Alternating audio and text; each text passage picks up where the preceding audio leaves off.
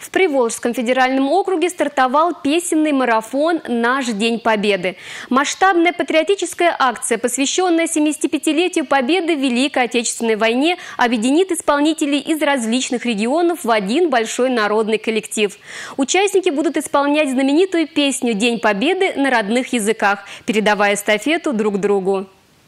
Песня «День Победы» композитора Давида Тухманова на слова Владимира Харитонова впервые была исполнена 45 лет назад и с тех пор стала настоящим гимном этого великого праздника. Каждый регион готовит свою видеозапись, которая будет собрана в одно общее видео. Клип будет опубликован в открытом доступе в сети интернет. Старт народного песенного марафона состоялся в Республике Мордовия. Съемки проходили еще до режима самоизоляции. Это день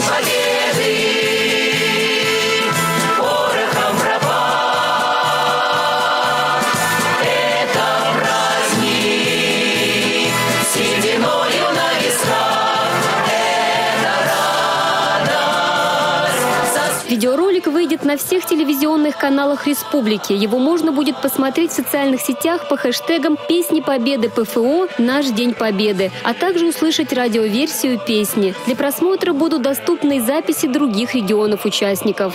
Со слезами